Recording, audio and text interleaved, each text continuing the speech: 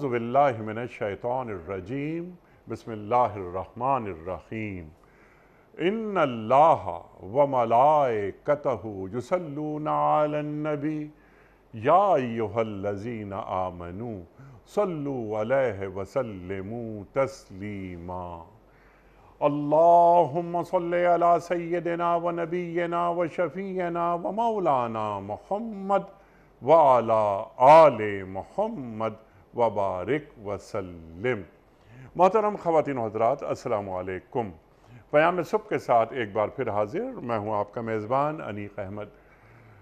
मोहतरम ख़वातिन हजरात, आप और हम अच्छी तरह जानते हैं कि प्याम सुबह में, चूँकि एक प्रोग्राम है कुरान करीम को सीखने का, और हमारे मुल्क जैदुलमा तशरीफ़ लाते हैं, हमें सिखाते हैं, कुरान की तालीम देते हैं।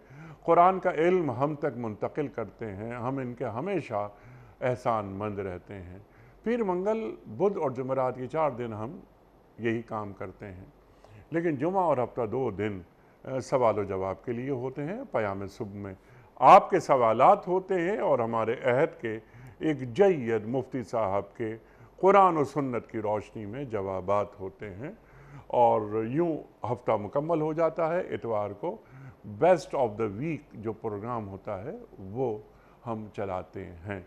ख़वान हजरात कुरान करीम को सीखना, समझना, उस पर अमल करना, उसका इबलाग करना कुरान करीम को मनज़ल मनल्ला जानना, ईमान रखना ये सब मतलूब हैं हमसे, एक बंद मोमिन से। ख़वान हजरात सबसे ज़्यादा जो अहम बात यह है कि हम कुरान करीम की तहों तक, तहदारियों तक, तमाम पहलुओं का अहाता नहीं कर सकते। जब तक कि हमारे अहद के जैद तशरीफ़ लाकर हमें तालीम न फरमाएँ। ख़वान हजरात आज भी हमारे साथ एक बहुत जैद नाम मुफसर कुरान तशरीफ़ फरमा हैं इस्लामाबाद में।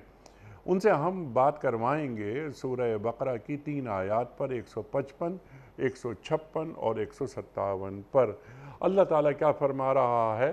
वलनबलवनकुम बिशम मिनलखौफ़ वलजू व नक़सम मिनलमवाल वलनफुस वसमारात वबशर साबरीन ख़वान हजरात ये अल्लाह ताला आज़माता है अल्लाह ताला फरमा रहा है कि हम तुम्हें ज़रूर आज़माएँगे खौफ व ख़तर से फाक़े से जान माल के नुकसान से आमदनियों के घाटे में मुबतला करके तुम्हें आज़माते रहेंगे सवाल छोटा सा हम ये रखेंगे कि अल्लाह अपने बंदों को क्यों आज़माता है? आज़माने के सिलसिले में अल्लाह ताला की सुन्नत क्या है? अच्छा फिर अल्लाह ताला फरमाता है कि अल्लाजीना इज़ा असाबत मुसीबा, कालो इन्ना ला व इन्ना राजून और ये जो मुसीबत का वक्त होता है, परेशानी का वक्त होता है जो लोग सब्र करेंगे और मुसीबत पड़े तो वो ये कहेंगे, हम अल्लाह ही के हैं और अल्लाह ही की तरफ़ हमें पलट कर जाना है। उन्हें क्या कीजिए, आप खुशखबरी दे दीजिए उन पर उनके रब की तरफ़ से बड़ी इनायात होंगी, उनकी रहमत, अल्लाह की रहमत का उन पर साया होगा और ऐसे ही लोग रास रो हैं। ख़वान ये तीन आयात हैं, लेकिन तीन आयात में बहुत सारे सवालात हैं, निकात हैं जो हम चाहेंगे कि हमारे मोज़ मेहमान एक एक बात पर एक एक नुक्ते पर को खोलें, बात करें और हमें समझाएँ कि अल्लाह ताला क्या फरमा रहा है। ख़वान हजरात तशीफ़ फरमा है इस्लामाबाद में हमारे साथ मोहतरम डॉक्टर हबीबुररहमान आसिम साहब। डॉक्टर साहब, बड़ा शुक्रगुजार, बड़ा ममनून आपने वक्त निकाला, आप तशरीफ़ लाए। ख़वान नजरात डॉक्टर साहब, एक चलती फिरती लाइब्रेरी हैं वसीमताला हैं, पूरी ज़िंदगी कुरान करीम की खिदमत में आपने गुजार दी।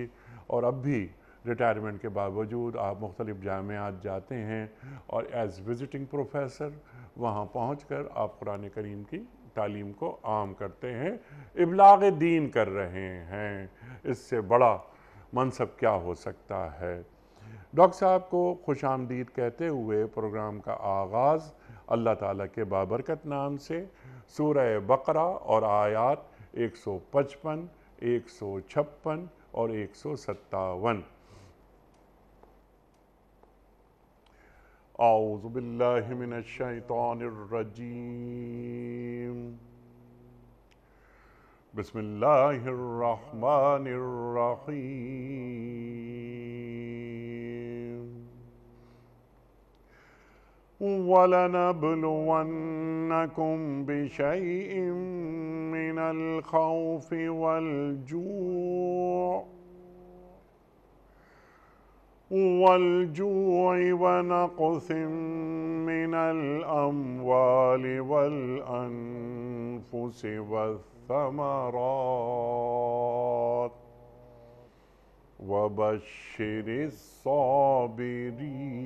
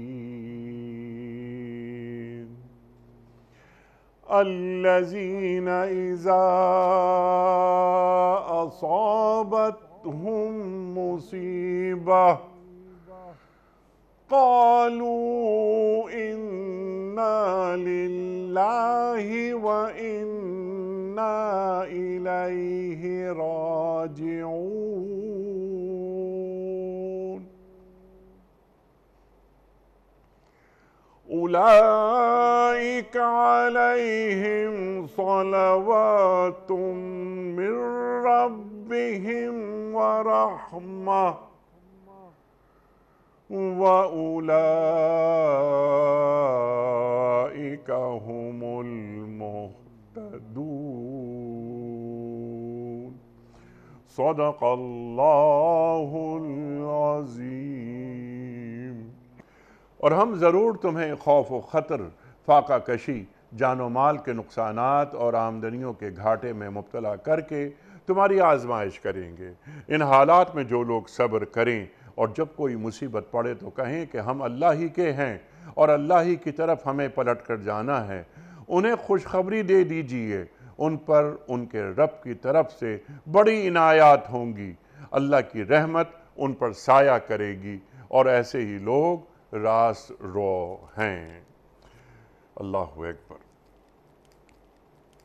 ख़वान हजरात, इससे पहले कि हम रखें आज के प्रोग्राम के हवाले से पहला सवाल, मोहतरम डॉक्टर हबीबुररहमान साहब की खिदमत में, उससे कबल कल के पूछे गए सवाल का दुरुस्त जवाब और आज का सवाल आपकी खिदमत में। कल का सवाल हमारा ये था कि खान काबा को किस सन हिजरी में कबला करार दिया गया? दुरुस्त जवाब दो सन हिजरी में। आज का सवाल नोट फरमा लीजिए, कुरान करीम में कुल कितनी मंजिलें हैं? सात, आठ या नौ? जो दुरुस्त जवाब आप समझते हो, रवाना फरमाइए। हमारे फ़ोन नंबर्स हैं zero zero nine double two one three four five two seven double zero nine. हमारा दूसरा फ़ोन नंबर है zero zero nine double two one three four three double zero nine eight zero. हमारा email address P S at दुनिया T V dot T V हमारा WhatsApp का number है zero zero nine two three two one eight two five zero one nine four मोहतरम doctor साहब, इरशाद फरमाइए, अल्लाह अकबर अल्लाह अकबर, क्या आयात हैं ये? मेरा सिंपल सवाल आपकी खिदमत में इससे पहले कि मैं इसकी डेथ में जाऊँ और शान नज़ुल जानूं, यहाँ अल्लाह ताला बयान फरमा रहा है कि हम अपने बंदों को ज़रूर डालेंगे आजमाइशों में। अल्लाह ताला एक बंदे को आजमाइशों में क्यों डालता है? अल्लाह ताला की सुन्नत क्या है इस बाब में? इरशाद। बसमीम अनेक भाई आपने जिन आयात का इंतखब फरमाया है ये आयात हमारी ज़िंदगी का वो बुनियादी फ़लसफ़ा वाज करती है। जिसकी बिना पर तमाम इंसानों की पैदाइश और उनकी मौत और मौत के बाद दोबारा उनके उठाए जाने का इन्हिसार होता है। रबाल की अपनी ये सुन्नत उसने ख़ुद ही मुकर कर दी और यकीनन जब भी वो किसी बात का फ़ैसला करता है तो अपने फ़ैसले में ख़ुद मुख्तार होता है। ना वो किसी से मशवरा करता है और ना कोई उससे सवाल किया कर सकता है। कि अल्लाह आपने ये क्यों कुल्लिया बनाया और क्या उसूल अपनाया। अल्लाह ताला ने बज़ात ख़ुद इस बात का इजहार फरमा दिया। एक बड़ी मशहूर आयत जो आप भी अक्सर पढ़ते रहते हैं और उसका हवाला भी अहले ईमान सुनते रहते हैं कि तबारकल्लदी बियद मुल्क वह आला कुल्ल शैन कदीर। अल्लदी खलकल मौत वल हयात लियबलुवकुम अय्युकुम अहसन अमला वो जिसके हाथ में बादशाहत है सारी की सारी बादशाहत। जो कुल दुनिया का पूरा इख्तियार रखता है सारी कायनातों का इख्तियार रखता है वो अलमलिक बादशाह है तो उसी ने मौत और ज़िंदगी इसलिए बनाई ताकि वो तुम्हें आजमाइशों में डाल सके और इस बात का जायज़ा ले सके कि तुम में अमल के अतबार से, काम और किरदार के अतबार से बेहतर कौन है? देखिए, हम एक तरफ़ ये भी कहते हैं कि वो अल्लाह सब कुछ जानता है। उसके इल्म में माजी हाल और मुस्तकबल सारे के सारे ज़माने मौजूद हैं। सब के बारे में वो कुल्ली इल्म रखता है। लेकिन उसने अपनी एक सिफत अलादिल भी कर रखी है। और अदल का तकाजा ये है कि उसके ज़ाहरी इसबाब भी बाकायदा लोगों को दिखाई दें और उन्हीं इसबाब से गुज़रता हुआ वो शख्स अपने इन तमाम मराहल को पूरा करे, जिसमें जो काम उसने किया, उस काम को कोई देखने वाला भी हो और कोई उसके बारे में जांचने वाला भी हो और कोई उसका फ़ैसला भी करने वाला हो।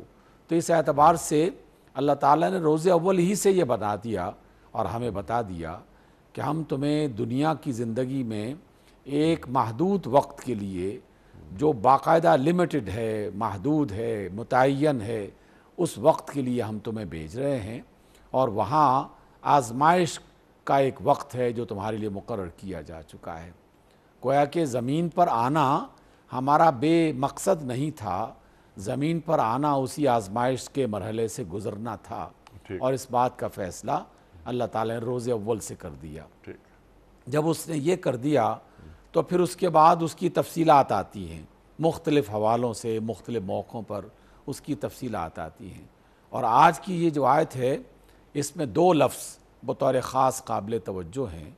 एक, वलनबलुवन्नकुम, इसमें लाम और एक नून है, जिसको अरबी ज़बान में नून सकीला और आम लोगों की ज़बान में कोई ऐसा नून जिसके ऊपर शद्दा पड़ी हो अगर वो लाम के बाद वो नून भी उसी लफ्ज़ के अंदर मौजूद हो जैसे वाला नबलुवन्नकुम आप इसमें देख रहे हैं।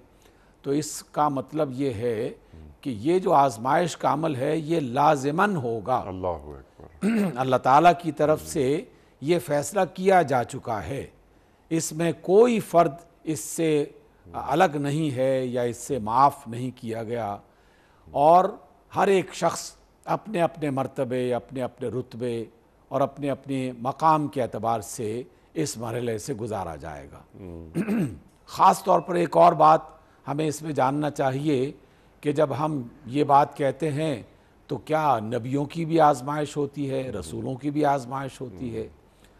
तो अल्लाह ताला ने जो प्रोसीजर दुनिया में इंसानों के लिए बनाया, वो सब के लिए यकसा और एक जैसा बनाया। लेकिन हर एक का मकाम और मर्तबा वो यकीनन मलहूज रखा गया कि जब अम्बिया इस मकाम से गुज़रते हैं, इस मरहले से गुज़रते हैं तो वो लोगों के लिए एक मिसाल बनते हैं, एक नमूना बनते हैं। और वो उन्हें बताया जाता है कि ये देखो किस तरह की मुश्किल में आए, लेकिन इन्होंने इस मुश्किल का मुकाबला किस तरह से किया, या मुश्किल घड़ी में इन्होंने अपने आप को कैसे संभाला, कैसे उन्होंने ये मुश्किल घड़ी गुजारी। तो उसमें वो तमाम अम्बिया वो तमाम रसूल जो इन मराहल से गुज़रते हुए हमारे सामने एक उसव हसना या बेहतरीन मिसाल बन के आते हैं तो ये लफ्ज़ उनके लिए भी उसी तरह इस्तेमाल हुआ है। वला नबलु नकुम हम तुम्हें ज़रूर ब ज़रूर लाजमन हम तुम्हें आजमाएँगे बेशई इमिनल खौफ। ये जो शई है इसका भी बहुत अहम पहलू है और हमारे लिए इसमें रहमत की एक ऐसी झलक दिखाई देती है कि वो अल्लाह हमारी आजमाइश तो करता है लेकिन आजमाइश से ज़्यादा दर हकीकत वो हम पर मेहरबान है। कोई ऐसी मुश्किल नहीं डालना चाहता कि जिसकी बिना पर इंसान बिल्कुल ख़त्म होकर रह जाए और वो अपने आप को संभाल ही ना पाए। इसलिए बेशय इमिनल खौफी खौफ का कुछ हिस्सा इंसान की ज़िंदगी में ज़रूर आएगा।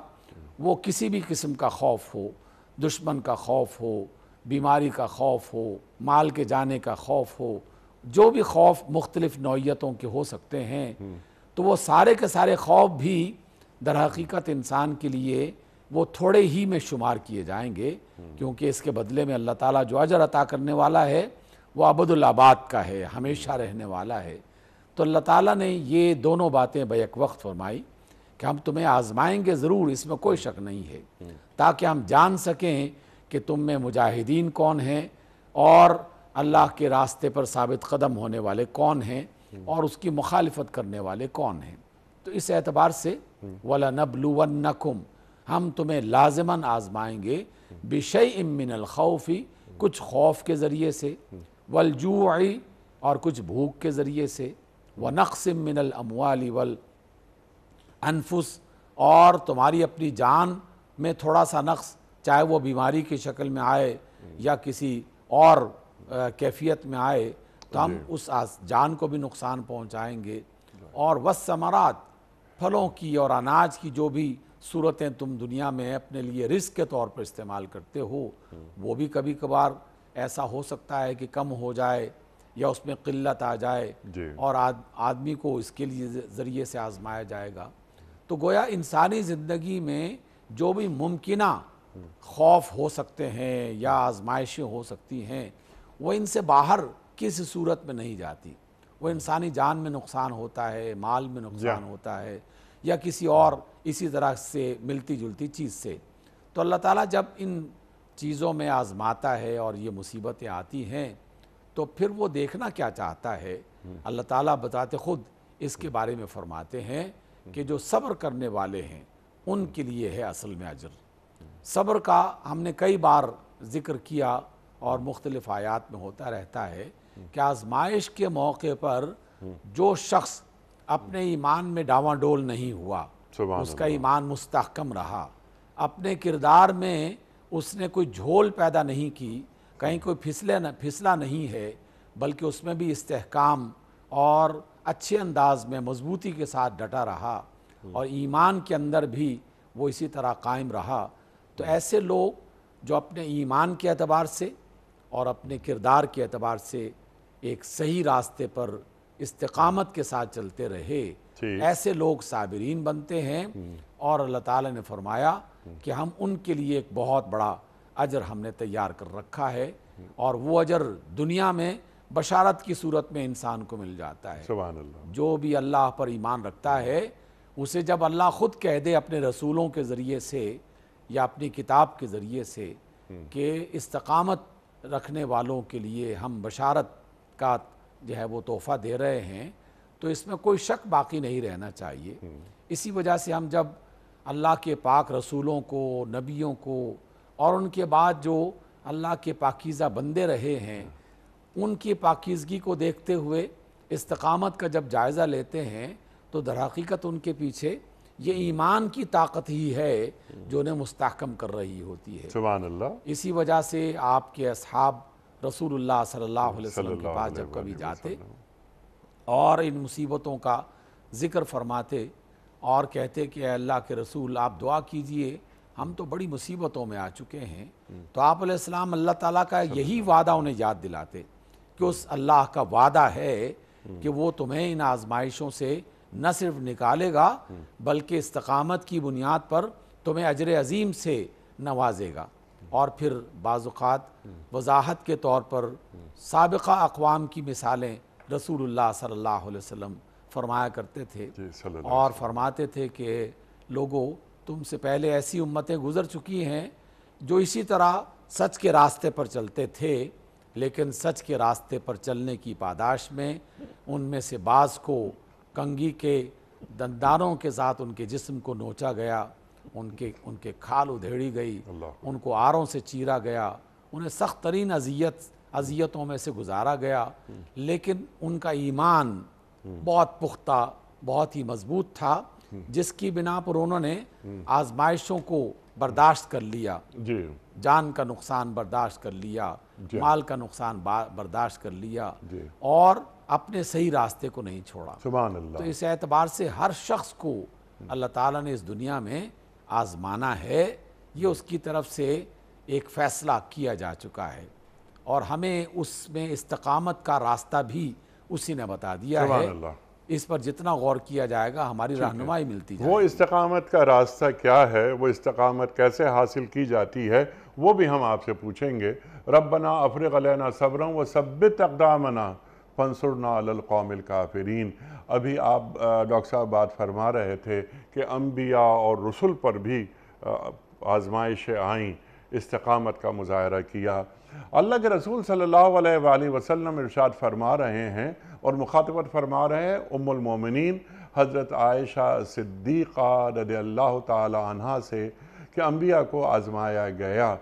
लेकिन इस सफ़र में जितनी मशक्क़तें, जितनी मुसीबतें मुझ पर आईं, इतनी किसी नबी पे नहीं आईं, किसी रसूल पे नहीं आई। अल्लाह अकबर अल्लाह अकबर। अच्छा डॉक्टर साहब इसको ज़रा सा मैं चाहता हूँ कि और खोलते हैं। आपने बुनियादी बातें तो हम तक पहुँचा दी। मैंने एक सवाल ये रखा था कि अल्लाह ताला ये जो आजमाइशें करता है बंदों की आ, इसकी वजह क्या है? वो सूर्य मुल्क की आयत भी आपने तलावत फरमाई के खलकलमौत वल हयाता ले यबलोकुम अयोकुम आहसन अमला। अब ये आसन अमला, अल्लाह अकबर अल्लाह अकबर।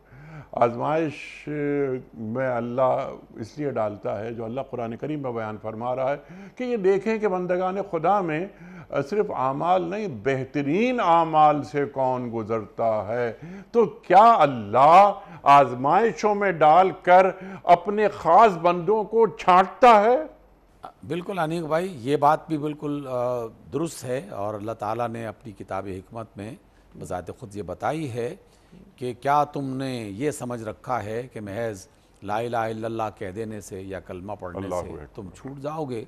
हम तो आजमाएँगे तुम्हें और इस एतबार से वो छांटने का अमल बाकायदा उस अल्लाह ने बाकायदा ज़िक्र किया और कहा कि ताकि हम जान लें तुम में से कि कौन वो हैं जो उल हैं, कौन वो हैं जो इस्तकामत की राह पे चल रहे हैं? कौन वो हैं जिनका ईमान मज़बूत है? कौन वो है जो सिरात मुस्तकीम पर डटे हुए हैं? तो हम ये आज़माते हैं ताकि हम इनको जान सकें। और कौन वो हैं जो ज़रा सी आजमाइश और मुसीबत आई और फ़ौर वो दूसरी तरफ़ पलट गए, शैतान के रास्ते पर चलने लगे। क्योंकि सहूलत का रास्ता इब्तदा में शैतान इंसान को मुहैया करता है और उसकी तरफ़ रागिब करता है। इसी वजह से आप सल्लल्लाहु अलैहि वसल्लम का एक बड़ा मशहूर फरमान है। आ, आपने एक दफ़ा जनाब जबरील आसमाम को फरमाया कि जाओ जन्नत देखो। जन्नत के जितने भी जो है वो मनाजिर उन्हें दिखाए गए तो वो कहते हैं कि कौन ऐसा शख्स है जो इस जन्नत पे जाने की कोशिश ना करे? हर एक शख्स इसी की तमन्ना करेगा। और जब जहन्नम को दिखाया गया तो फिर उससे नफ़रत और उससे दूर भागने का अमल भी उनकी तरफ़ से बयान किया गया कि कौन इस जहन्नम में जलेगा इसके अजाब तो इस कदर ज़्यादा हैं कि कोई शख्स इसकी तरफ़ जाएगा ही नहीं। लेकिन फिर जन्नत के रास्ते पर कांटेदार झाड़ियाँ और बेशुमार किस्म के खौफ ये बिछा दिए गए। और फिर जब कहा गया कि अब देखो क्या सूरत हाल है तो फिर उन्होंने बताया अल्लाह ताला ने उसके जवाब में कि जब उन्होंने ये देखा कि इतनी ज़्यादा मुसीबतें हैं तो कहा गया कि अब कौन है जो इस जन्नत की तरफ़ जाएगा? जगह जगह, कदम कदम पे मुसीबतें हैं। और फिर जहन्नम की तरफ़ जब देखा गया तो फिर बाकायदा बताया गया कि जिसे बेशुमार किस्म के जो है वो ऐसे ऐसी चीज़ों से भर दिया गया था, जिसमें लालच है, जिसमें हुस्न है, जिसमें ऐसी चीज़ें हैं जो इंसान को रागिब करती हैं। माल दौलत है चमक दमक है, इकतदार है, ये ये चीज़ें हैं। तो इन दोनों का खुलासा हमारे सामने ये आता है कि बज़ाहिर जन्नत एक बहुत अच्छी चीज़ है, लेकिन अल्लाह ताला ने जन्नत के रास्ते में ये सारी मुसीबतें इस वजह से खड़ी की कि जो इस जन्नत में पहुँचना चाहता है, यानी अल्लाह ताला की तरफ़ से कामयाबी के मकाम पर पहुँचना चाहता है, उन्हें इन आजमाइशों से गुज़र के जाना पड़ेगा।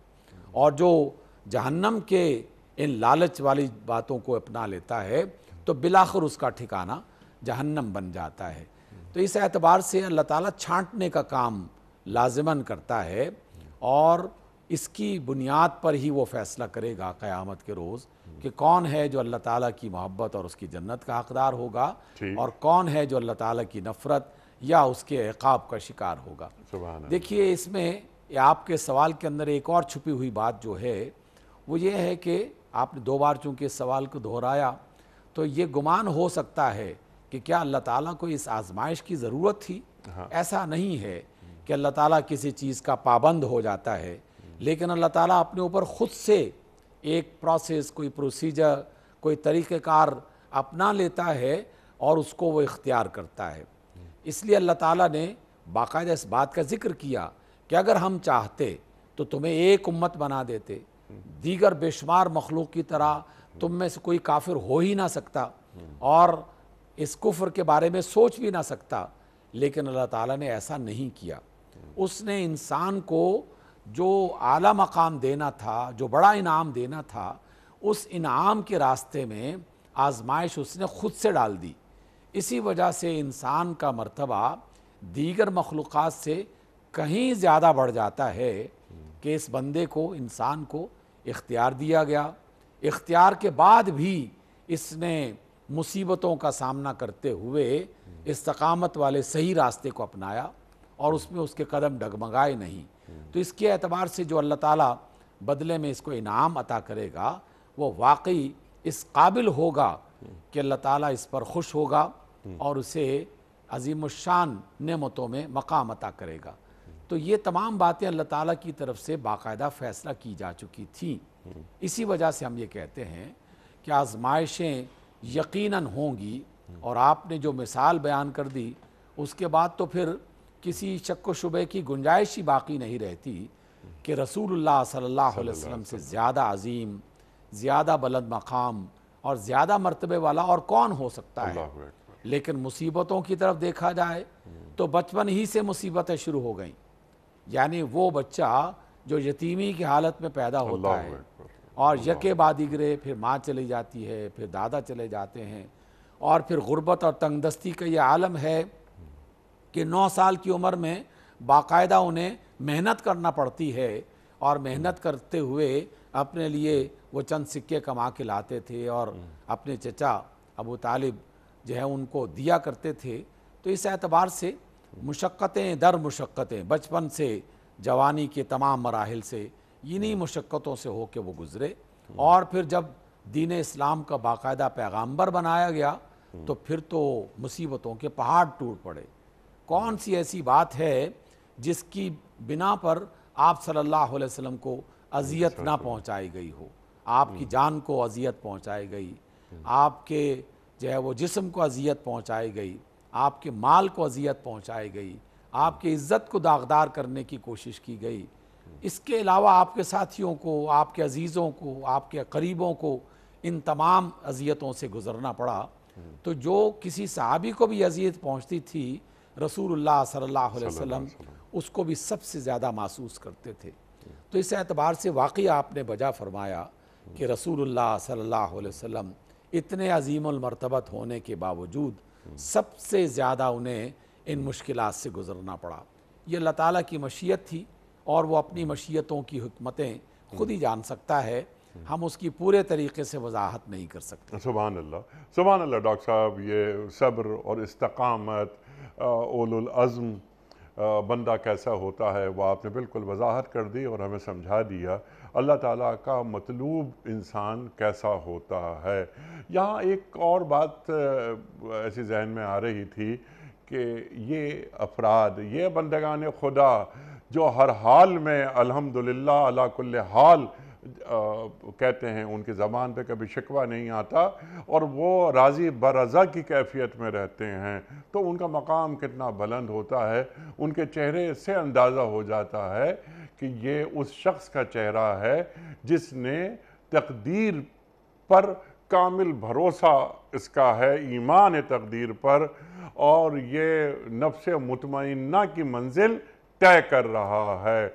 वहाँ पर भी डॉक्टर साहब, एक और, एक एक और नुक्ता ये कि बंदगान खुदा तो बहुत सारे हैं, लेकिन जो अल्लाह ताला छांटता है अपने बंदों को तो या ये तो हम नफ्सुलमतमना इर्जी इला रब के रादयतम मर्दिया फतखुली फ़ी इबादी वदखुली जन्नती।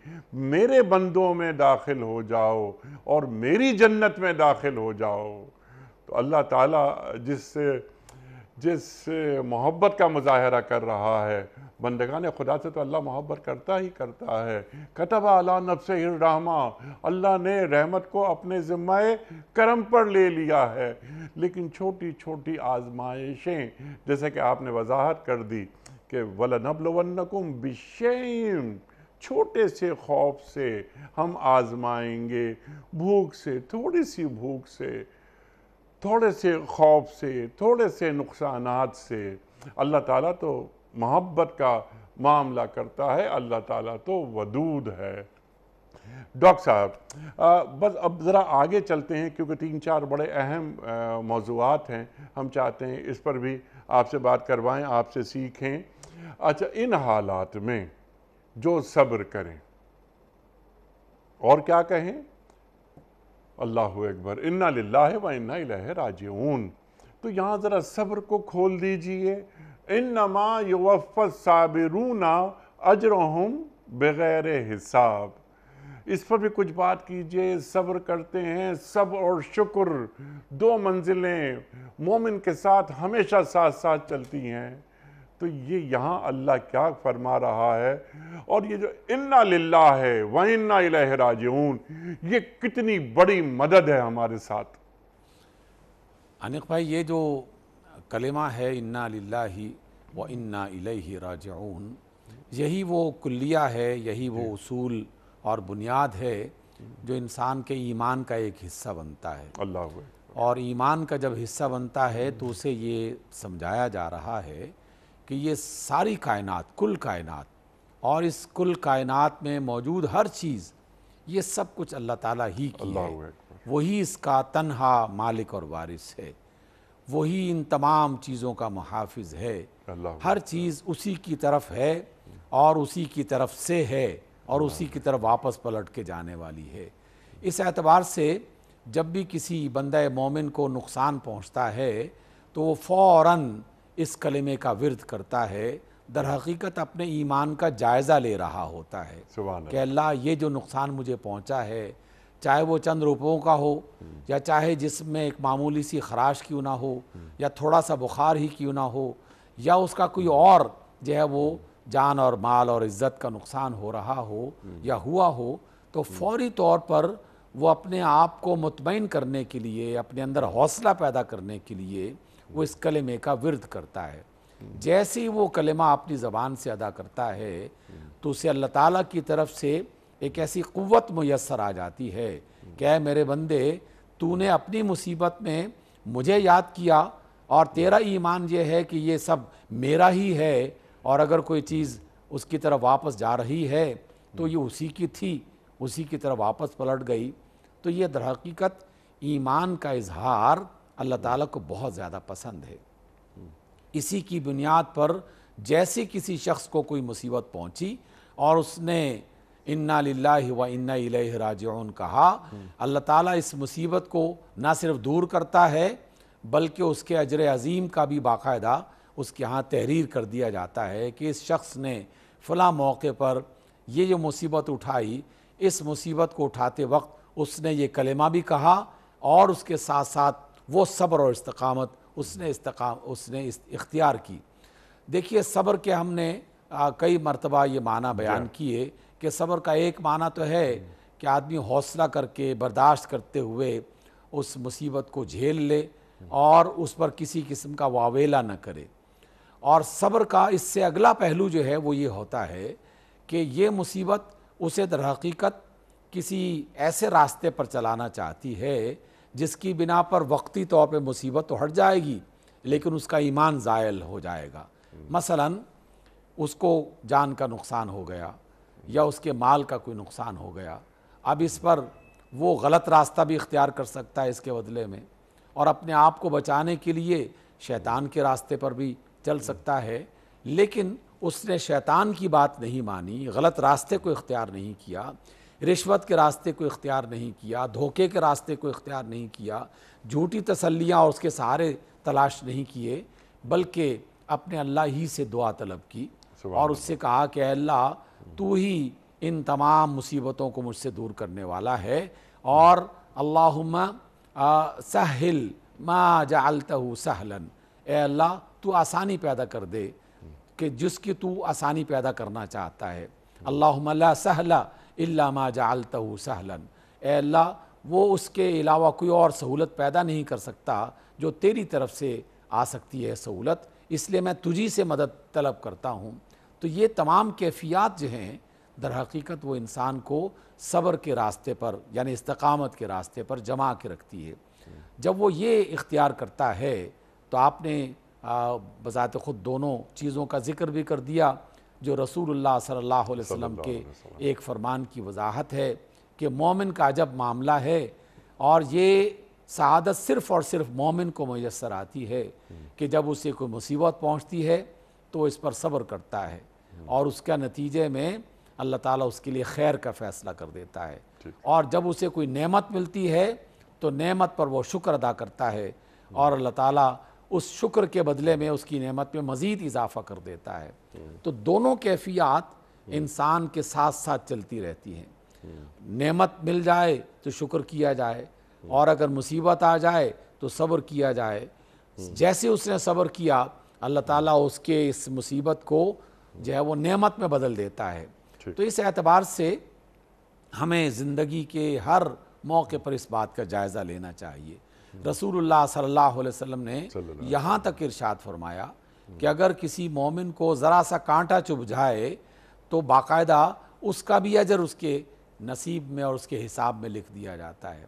और आपने यकीनन आपके प्रोग्रामों में हमने एक दो बार इसका हवाला भी दिया कि एक साहबी खजूर के दरख्त पर चढ़े अचानक उनका पाँव फिसल गया और फिसलते हुए वो ज़मीन पर आ गिरे। आपको पता है कि खजूर का दरख्त एक ऐसा पौधा है कि जिसमें चोटें आ जाती हैं उसमें खारदार जो वो कैफियात होती हैं तो एक सहाबी उस पर हंसने लगे। दूसरे उनके साथी थे। तो ये जो फिसलने वाला सहाबी था ये नाराज़ हो गया कि मुझे तकलीफ़ पहुँची है और तुम हंस रहे हो। तो दूसरे सहाबी ने ये बयान किया कि मैं रसूलुल्लाह सल्लल्लाहु अलैहि वसल्लम के इस फरमान को याद करते हुए मैं हंसा मैं खुश हो गया। रसूलुल्लाह ने फरमाया था कि अगर किसी मुसलमान को कांटा भी चुभ जाए तो उसका भी बाकायदा अजर जो है उसके लिए लिखा जाता है।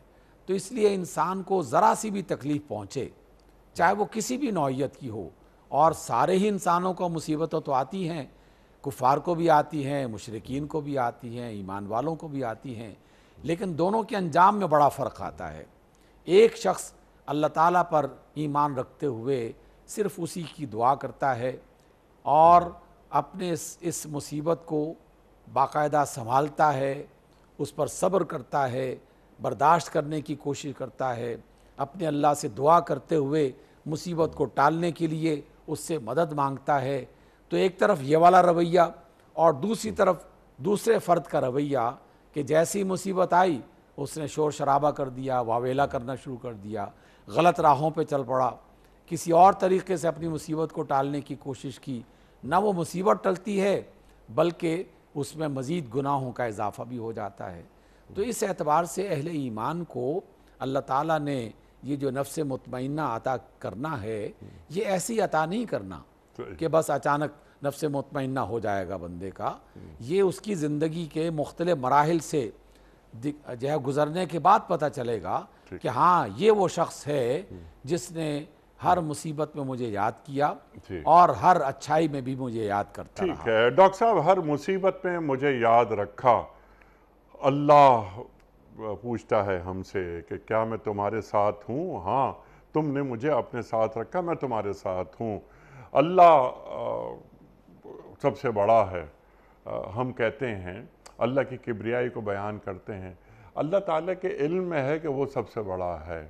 हम कहते हैं तो हम तो बस अपनी, अपने क़द को बुलंद करने के लिए या चंद इबादतें करके उसकी बारगाह में कबूल करवाने के लिए कहते हैं, नमाज़ पढ़ते हैं, अल्लाह अकबर कहते हैं। तो ये अल्लाह ताला का जो मतलूब बंदा होता है और अल्लाह ताला ये देख रहा है कि ये मेरे अहकाम पे अमल कर रहा है हाँ कर रहा है। तो उस मकाम पर फायज होने का एक एक मुख्तसर रास्ता क्या है? डॉक्टर साहब, ये बता दीजिए कि अल्लाह ताला के जो मुकर्रब बंदे हैं, उनमें हम शामिल हो जाएँ। जिस तरह आपने अभी बात फरमाई कि ये इस मकाम तक पहुँचना इतना आसान नहीं है। जब आपने ये बात फरमाई तो मेरे जहन में फ़ौर ये ख्याल आया कि इस मकाम तक पहुँचने के लिए हमें सबसे पहला काम क्या करना होगा? देखिए, हर काम का आगाज़ इरादे और नीयत से होता है। और अल्लाह ताला इस इरादे और नीयत की बुनियाद पर अगले मरहले में जाने का उसे मौका अता करता है। किसी ऐसे शख्स को अल्लाह ताला राह हिदायत नहीं अता करता कि जो अल्लाह ताला की राह हिदायत तलब करने की कोशिश नहीं करता या उसकी तमन्ना नहीं रखता। कम अज़ कम इब्तदाई तौर पर इस तमन्ना और इरादे का होना लाजमी अमर है। इसलिए कि कुरान मजीद और रसूलुल्लाह सल्लल्लाहु अलैहि वसल्लम की बेशुमार हिदायत इसी बात की तरफ़ रहनुमाई करती हैं। जैसे किसी शख्स ने तमन्ना की इरादा किया तो यकीनन उसके बाद वो इसके लिए कोशिशें शुरू कर देता है। और उसकी कोशिशों में दुआ भी शामिल होती है लेकिन उसकी कोशिशों में वो तमाम मरहले आते हैं जो हमें रसूलुल्लाह सल्लल्लाहु अलैहि वसल्लम और उनके अलावा दीगर अम्बिया और आपके मुख्तलिफ़ साथी वो हमें करते हुए दिखाई देते हैं। मैं ये समझता हूँ आपका सवाल अगरचे अच्छा है बहुत अच्छा है लेकिन हमने जो थोड़ा बहुत कुरान मजीद का मताल किया सीरत का मताल किया अगरचे ये आ, बहुत बड़ा मौजू है इस एतबार से कि हम उसका कोई शॉर्टकट तलाश नहीं कर पाते। ना ही कर सकते हैं। मेरा अपना गुमान अच्छा, है। ना ही कर सकते हैं। ना ही या अपनी जिंदगियों को डॉक्टर हाँ। साहब क्योंकि अब लास्ट मिनट जारी हैं दस मिनट में प्रोग्राम ख़त्म करना है और तीन मौजूद रह गए बहमदिल्ला।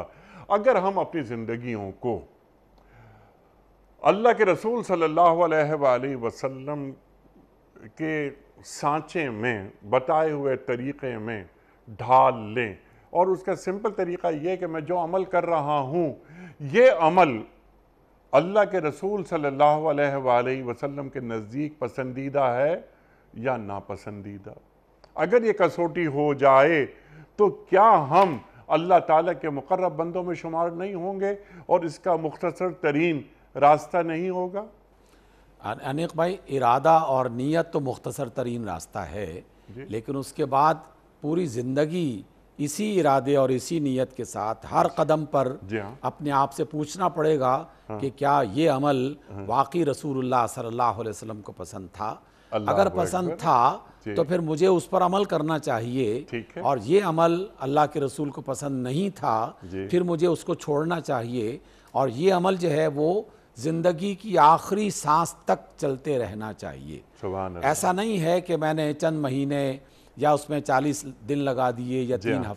हफ़्ते लगा दिए और उसकी बुनियाद पर अब मैं सारी ज़िंदगी के लिए आज़ाद हो गया हूँ अगर ऐसा होता तो हम्म। अल्लाह ताला ये ना फरमाते हम्म। वह आबुद रब का हत्याकल यकीन ए मेरे बंदे अपने रब की इबादत करते रहो करते रहो करते रहो यहाँ तक कि मौत ना आ जाए और अगर ये इतना आसान होता तो रसूलुल्लाह सल्लल्लाहु अलैहि वसल्लम इतने कठिन रास्तों से चलते हुए ज़िंदगी के आखिरी मरहले तक यह वो अल्लाह ताला की तरफ़ ना बुलाते रहते और अल्लाह के दीन को गालिब करने की कोशिश ना करते रहते और अल्लाह के रास्ते पर इस्तकामत के साथ चलने की कोशिश न करते रहते। इसलिए आगाज़ तो अच्छा है। आपने बिल्कुल सही रास्ता बता दिया कि हर काम से पहले ये देख लिया जाए कि रसूलुल्लाह सल्लल्लाहु अलैहि वसल्लम के नज़दीक ये काम बेहतर है या नहीं है। जिसने ये कर लिया एक दफ़ा और फिर इस पर मुस्तकिल मिजाजी के साथ काम करता रहा तो फिर यकीनन उसकी कामयाबी की ज़मानत दी जा सकती है।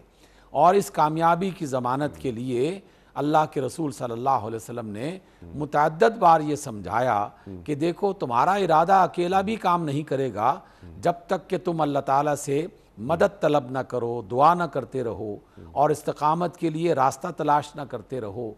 तो इसलिए अल्लाह से दुआ भी कदम कदम पर सहारे के लिए और मदद तलब करने के लिए कुरान मजीद की आयत है वस्तीन बेसब्री व सलाह थी कि आपने कोई भी काम करना है तो इस्तकामत का रास्ता, यानी सब्र का रास्ता, उसको मदद के लिए बुलाओ और नमाज़ जो अल्लाह ताला की याद और अल्लाह ताला से दुआ करने का एक वसीला है उसे अपना सहारा बनाओ।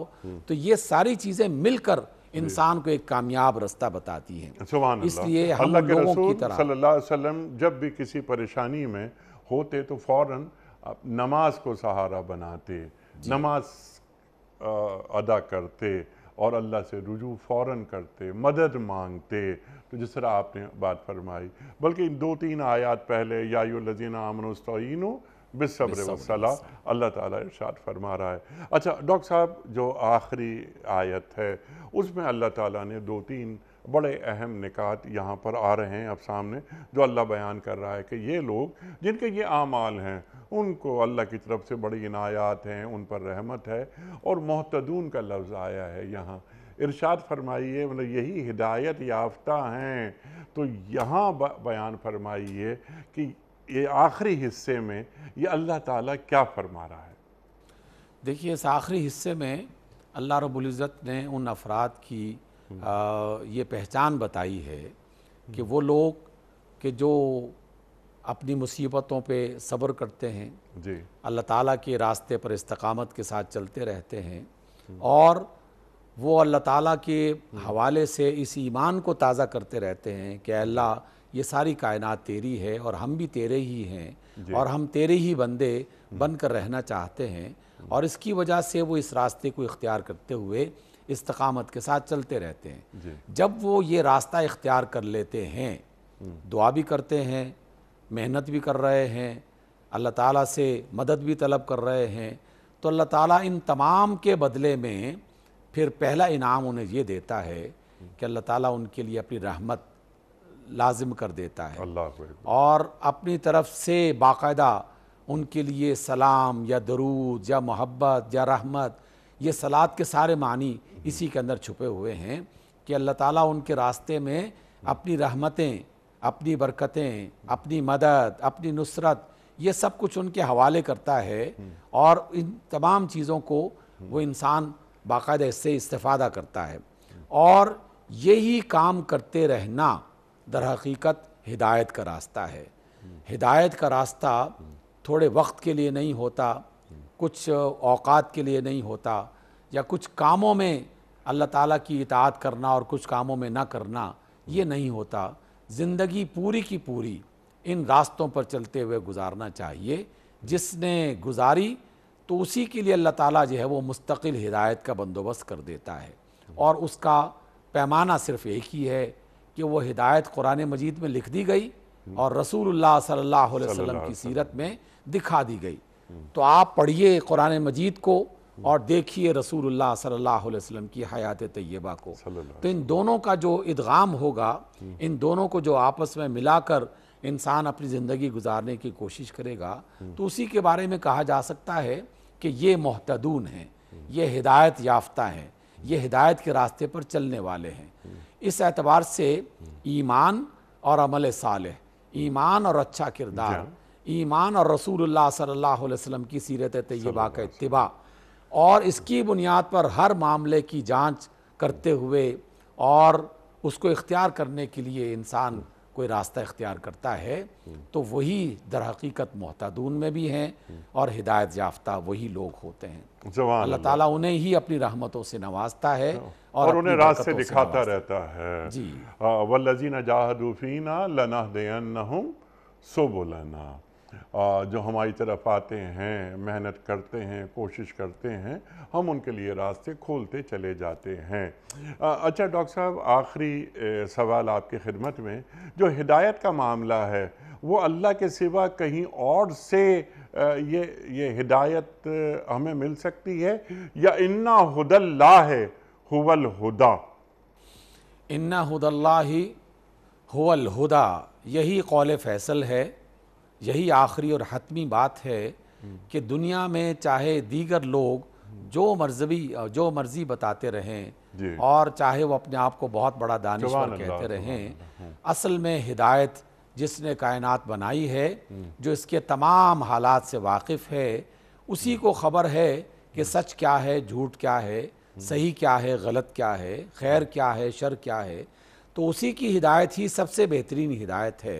तो इसलिए जो शख्स ये रास्ता इख्तियार करना चाहता है तो उसे फैसला कर लेना चाहिए कि अल्लाह और उसके रसूल सल्लल्लाहु अलैहि वसल्लम। और रसूल और अल्लाह का रास्ता एक ही है दोनों अलग अलग रास्ते नहीं हैं एक की तरफ़ जिसने रसूल की इतात की उसने अल्लाह की इतात की। उसने अल्लाह की इतात की। तो यही वो हिदायत बनती है। सुबहान अल्लाह सुबहान अल्लाह और जो हिदायत याफ्ता होते हैं जो मोहतदून में, जैसा कि डॉक्टर साहब आपने फरमाया, जो लोग होते हैं, वला खौफुन अलैहिम, वला हम याजनून उन्हें ना कोई खौफ होता है, ना कोई हुजन होता है। अल्लाह अकबर अल्लाह अकबर। लेकिन थोड़े से खौफ से, भूख से नुकसान से अल्लाह ताला आज़माता है और अल्लाह ताला किसी भी बंदे पर उसकी उसकी सकत से ज़्यादा बोझ नहीं डालता। ला युकल्लफ़ुल्लाह नफसन इल्ला वसअहा ठीक है डॉक्टर साहब? जनाब बिल्कुल। मैं आपका बड़ा ममनून बड़ा शुक्रगुजार डॉक्टर साहब। आप तशरीफ़ लाए और हमेशा की तरह आज भी हमने आपसे बहुत सीखा। ख़वान हजरात हमारे मुआज़ तशरीफ़ लाते हैं और हमारी इल्मी कमी को दूर कर देते हैं। ये सूर्य बकरा की आयात 155, 156, 157 पर मोहतरम डॉक्टर हबीबुररहमान आसिफ साहब ने गुफ्तु फरमाई और एक एक नुक्ते को वाज कर दिया। हम आपके दिली शुक्रगुजार। क्विज़। कल का सवाल हमारा यह था कि खान काबा को किस सन हिजरी में कबला करार दिया गया? दुरुस्त जवाब दो सन हिजरी में। आज का सवाल नोट फरमा लीजिए। कुरान करीम में कुल कितनी मंजिलें हैं? सात, आठ या नौ? जो दुरुस्त जवाब आप समझते हों। रवाना फरमाइए। हमारे फ़ोन नंबर्स हैं zero zero nine double two one three four five two seven double zero nine. हमारा दूसरा फ़ोन नंबर है zero zero nine double two one three four three double zero nine eight zero. हमारा email address P S at दुनिया T V dot T V. हमारा WhatsApp का number है zero zero nine two three two one eight two five zero one nine four. ये वक्त कुरानदाजी का। कराची में आज कोई मेहमान नहीं। अच्छा ये बॉल रखा हुआ है और मैंने एक पर्ची निकाल ली और आज के जो जो विनर हैं, वो हैं आतिका परवीन और ये हैं कराची से। आतिका परवीन कराची से। आपकी खिदमत में दुनिया टीवी की जानब से दीनी कुतुब पर मुश्तमिल गिफ्ट हैम्पर आपके घर, बजरिए कोरियर रवाना किया जा रहा है। आपको बहुत बहुत मुबारक हो। प्याम सुबह का अख्ताम होता है रोज़ाना एक कौल पर और वह कौल होता है। साहिब नहजुलबलागा अमीरमिन हज़रत अली मुर्तज़ा करम वजह का। आप फरमाते हैं, जब भलाई को देखो तो उसे हासिल करो और जब बुराई को देखो तो उससे मुँह फेर लो। अल्लाह अकबर। जब भलाई को देखो तो उसे हासिल करो और जब बुराई को देखो तो उससे मुँह फेर लो। अपने मेज़बान अनीक अहमद को कल तक के लिए इजाज़त दीजिए। खुदा हाफिज़।